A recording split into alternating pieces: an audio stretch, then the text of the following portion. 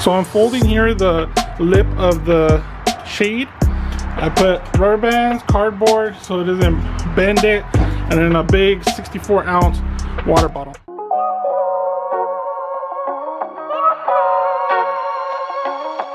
Thank you.